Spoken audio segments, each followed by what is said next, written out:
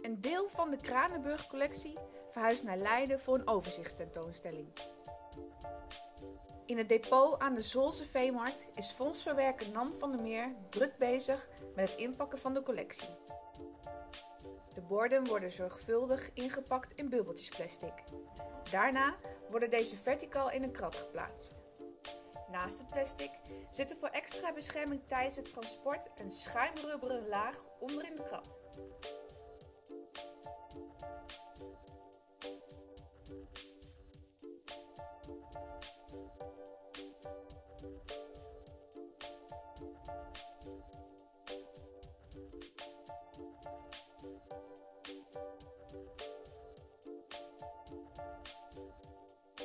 De potjes worden op elkaar gestapeld met een laag bubbeltjesplastic ertussen en eromheen, zodat deze niet op elkaar gaan drukken.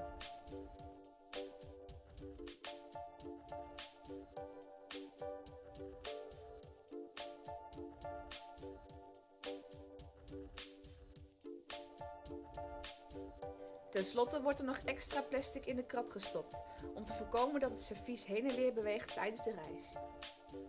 En nu op naar Leiden.